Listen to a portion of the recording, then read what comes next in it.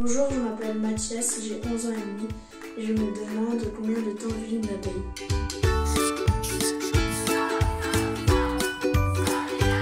Peut-être aurait été Seraphine en Belgique, mais on ne sait pas.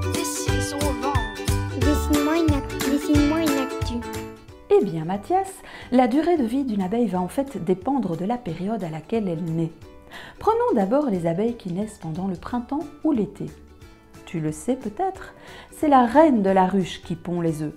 Elle pond chaque œuf dans une cellule, une alvéole. Après trois jours, l'œuf laisse place à une larve, une sorte de gros ver blanc pas très ragoûtant pour tout te dire.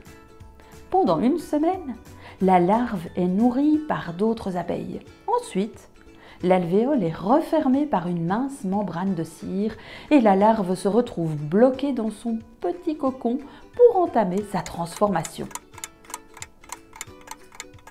En ressort une jolie petite abeille toute mignonne. Le processus complet de la ponte de l'œuf à la sortie de l'alvéole dure trois semaines. Note bien, Mathias, que nous avons parlé jusqu'à présent d'une abeille née d'un œuf fécondé. Si l'œuf pondu n'a pas été fécondé, il donnera vie à un faux bourdon, c'est-à-dire un mâle. Une fois sortie de sa cellule, l'abeille va rester environ trois semaines à l'intérieur de la ruche.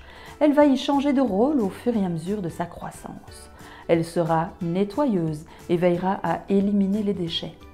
Elle sera nourricière et apportera de la nourriture aux larves. Elle sera architecte et construira de nouvelles rangées d'alvéoles. Elle sera ventileuse et s'occupera de réguler la température de la ruche. Elle sera aussi gardienne et se chargera de protéger la ruche. Et quelle que soit l'étape, elle prendra son rôle très au sérieux.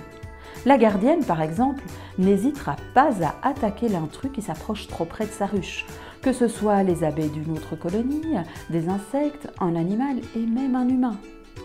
Les abeilles n'hésiteront pas à te piquer si elles se sentent menacées. Et si tu entends l'une d'elles venir tourner autour de toi en faisant beaucoup de bruit, éloigne-toi. On n'approche jamais un rucher sans y être invité et sans être fameusement équipé. Une fois qu'elle est passée par tous ses rôles, l'abeille endosse le dernier, celui de butineuse. Elle quitte alors la ruche pour s'aventurer dans le vaste monde et travailler encore. Dehors, elle va récolter du pollen, du nectar et de l'eau. Ce sont des éléments indispensables au bon fonctionnement de la ruche. Pour mesurer la durée de leur vie de butineuse, certains parlent en temps et d'autres en kilomètres. On estime que les butineuses vivent environ 3 semaines ou jusqu'à avoir effectué 800 km. La durée de vie peut être variable si elles travaillent beaucoup ou non. Ça, c'était pour les abeilles des beaux jours. En automne, le rythme change. L'activité de la ruche ralentit fameusement. La reine ne pond plus. Il n'y a plus de larves dont il faut s'occuper, plus de fleurs à butiner, et comme elles ont moins de travail, les abeilles vieillissent beaucoup moins vite. Ces abeilles-là vont donc vivre plusieurs mois. Elles se collent les unes aux autres, mangent et attendent le retour du printemps.